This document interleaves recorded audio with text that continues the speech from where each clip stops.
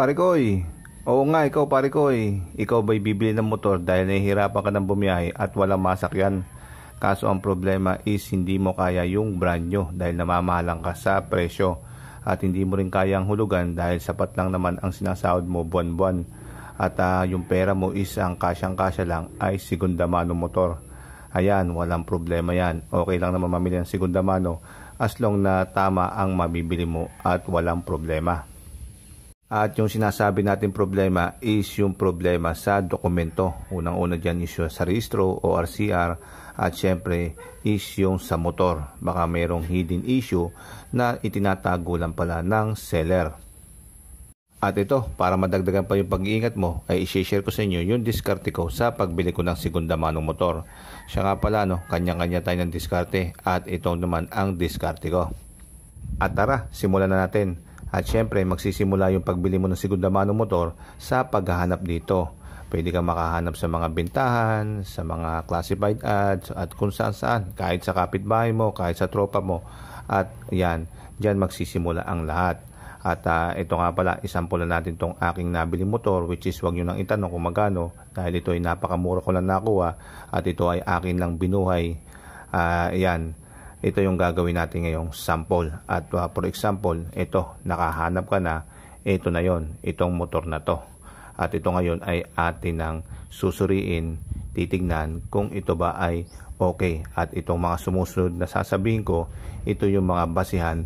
At ang kauna-unahan mong gagawin is once na nakakita ka ng motor, ay tignan mo yung presyo nito sa market. At tignan mo na siya kung magkano yung bentahan ng segunda mano nito.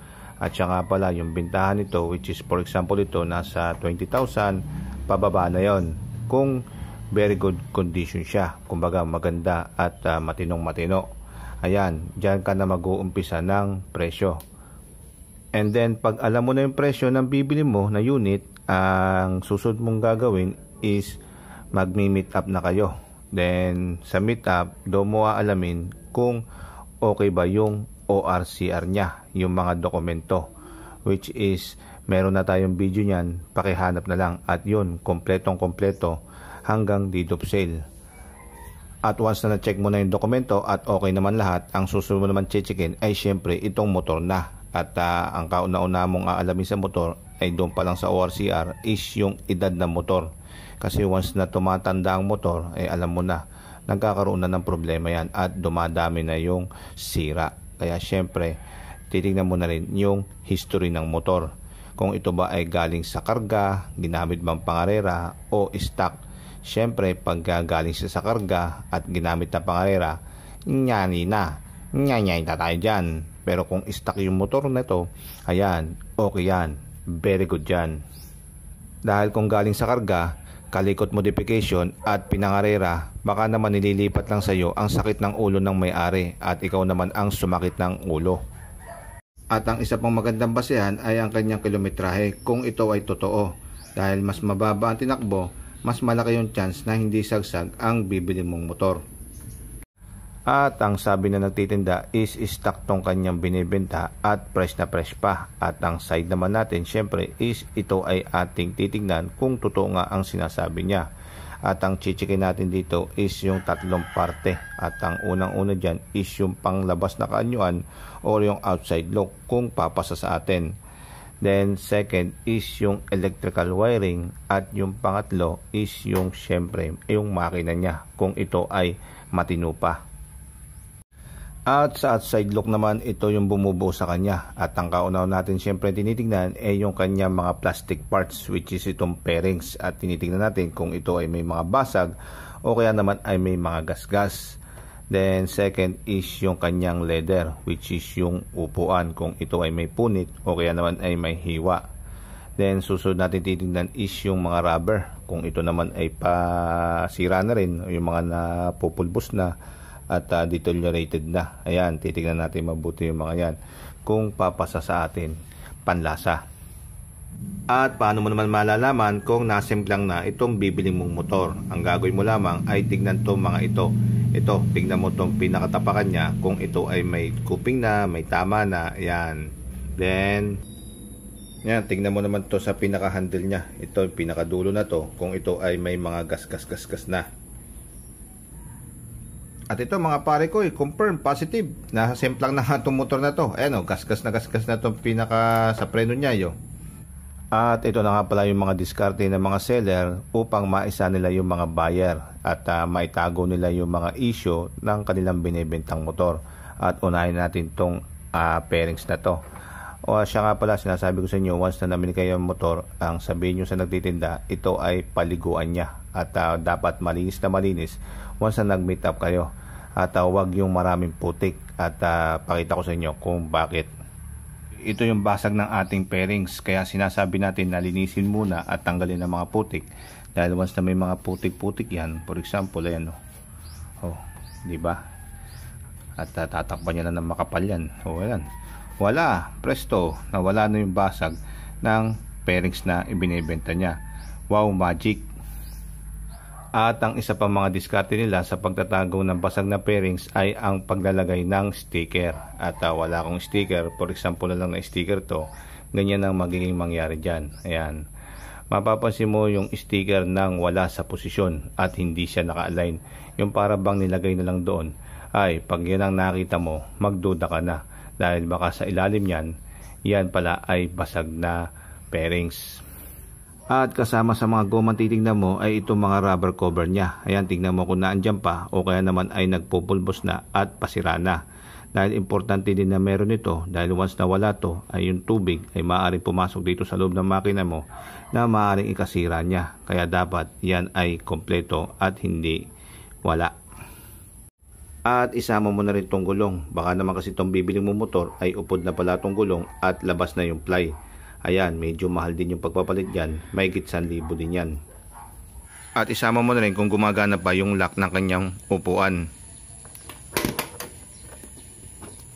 Which is ito yun. At isunod na rin yung kanyang may mga bakal na parte tulad nitong sa swing arm na to. At yung pagchichik dito ay hindi rito sa ibabaw ang tingin kundi sa mga ilalim. Yan, titignan yan. Lahat yan, pati ito mga body frame dahil karamihan sa ilalim ang nagsisimula ng kalawang at pinagsisimula ng butas. At pagkatapos na ng outside locks is tignan nyo na yung internal naman niya. At ang internal naman ay composed of wirings.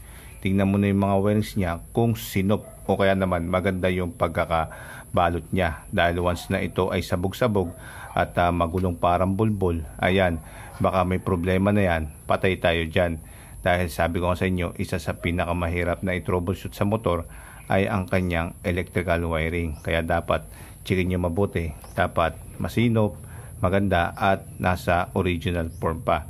Hindi yung pinagpraktisan na at pagkatapos natin tingnan yung kanyang electrical wirings, ang susunod natin titingnan ay itong kanyang mismong makina na. At ang titingnan natin dito ay yung mga tagas ng langis kung meron man. Kaya ang gagawin mo is iikutan mo yung makina niya, sisilipin mo, taas, baba, left, and right. Silipin mo, dapat walang tagas ng langis yan. Dahil mas na may tagas ng langis ay problema yan. Ayan, at yan ay senyales na hindi na maganda yung makina na to. Kumbaga overuse na siya. Kumbaga sagsag na siya dahil sa sobrang sagsag niya, nagtagasan yung langis niya. At pag yan naman ay pinalitan mo at uh, pinapalitan mo yung gasket, ay napakalaking trabaho niyan, ay siguradong magastos yan. Pas na lang tayo dyan. At silipin nyo na itong pinaka-parte na to, itong pagitan ng cylinder block at itong cylinder head. At tignan nyo kung may mga itim-itim kayo nakikita rito. Dahil once may mga itim-itim dyan, ang ibig sabihin yan ay may tagas na itong pinaka-cylinder block nyo. At lumalabas na yung air and fuel mixture dyan at either usok. Pag ganyan is uh, problema yan dahil malaking trabaho yan pag pinalitan yan at saka hindi na rin basta-basta makakatakbo ng matinutong motor nyo dahil ibig sabihin yan ito ay loss compression na. At ito ang titignan nyo sa makina kung gusto nyo malaman kung nagalaw na to o hindi pa itong mga bolts niya. Kung itong mga bolt na to ay makinis pa o hindi na. Once na ito ay may mga tama na, may mga gasgas na, ay posibleng nagalaw na to at ito ay nabuksan na. At total galing na rin kayo doon sa makina ay idiretso nyo na ang tingin nyo rito sa kanyang chain at sprocket at tignan nyo na rin kung ito ay palitin. At ito na mga pare ko ay ang pinaka final test na natin at dito malalaman natin kung okay talaga itong motor na to dahil ito ay ipapunction test na natin at paanda rin. unang-una dyan, eh, checkin nyo muna kung okay yung kanyang starter. Ang kanyang electric at kickstart dapat smooth at walang sabit at ibig sabihin one kick lang andar agad itong motor.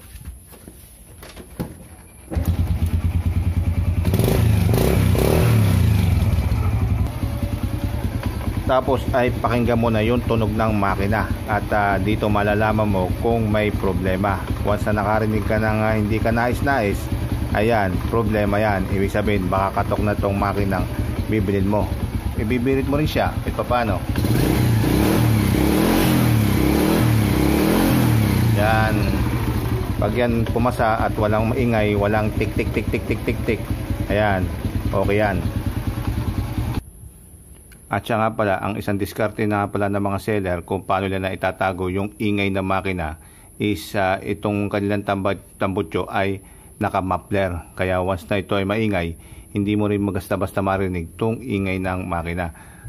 At kung naka-muffler at maingay itong binibenta sa inyong motor at hindi nyo marinig yung makina niya kung smooth o may ngaw-ngaw, ang gagawin nyo lamang ay kumuha kayo ng chinelas o kahit na anong panakip at takpan nyo yung pinakabunganga niya. At ayan, makarinig nyo, tumahimik na siya at maririnig nyo na yung kung maingay man yung makina niya. Which is napaka-importante niyan dahil dyan tayo babase kung matino pa itong makina. Dahil once na nakarinig kayo ng tok tok tok tok, tak tak tak tak o klang klang klang klang, pass. Huwag nyo nang bilhin yan, sira yan. Tapos ang susunod is i-check mo na lahat ng ilaw niya which is itong headlight, syempre, yan. Ang signal light, yan, saka left and right, ayun kasama na rin doon sa pinakalikod niya at syempre ang last but not the least itong taillight niya kung may ilaw. At isama mo na rin yung kanyang busina kung meron. Then, ang susunod is patakboy mo na siya, sakyan mo na siya, paandarin mo na siya, mag-test drive ka na. Dahil habang umaandar ka, diyan mo mararamdaman yung performance ng engine mo at syempre yung performance nitong preno at itong gulong. Kasi once na ito ay hindi maganda, unang-una itong preno ay uh, malihina na yung brake pad niya. Ayan, wala kang ganong preno kahit doon sa pinakalikod nyo. Then dito naman malalaman mo yan pag alog na to. Ayan, alog na tong pinaka-bearing niya uh, maririnig mo yan habang tumatakbo. Medyo papalag-palag yan tsaka may tunog yan na ik-ik-ik mga ganon. So yan malalaman mo yan. Within uh, running na siya. At doon mo na malalaman kung yung nabili mong motor ito ay smooth pa o hindi na. Ayan final na natin yan at ayan mga pare ko eh, at halos lahat ay na-check na natin at okay naman sa atin. At uh, may mga nakita tayong problema, may mga nakita tayong sira, ay yan. Nasa sa atin na yan. Dahil tayo naman ang bibili niyan, tayo rin ang magdidesisyon yan. Tayo mga buyers. Hindi nyo gusto yung motor dahil may problema ang motor, ang sasabihin nyo sa seller, pass tayo dyan dahil may problema ang motor mo. Kung gusto niyo naman ng motor at uh, may nakita kayong problema which is very minimal lamang at uh, kayang-kaya nyo naman gawin or kayang-kaya nyo i-handle, ganito ang magiging usap nyo dyan. So ngayon ang motor is ay ito yung presyo. Ang mangyayari na lang dito is mababawasan na lang ang presyo. Kumbaga tatawad na lang tayo kung ano man yung nakikita nating depekto sa motor. So ibig sabihin yan, mag-uusap na lang tayo ng seller at tayong mga buyer kung ano yung mapag-uusapan. So yan, usap na tayo. At uh, hanggang dito na lang po yung aking video at hopefully meron po kayo natutunan sa pagbili ng segunda manong motor. Uh, paalam na sa inyo mga pare ko. Paalam.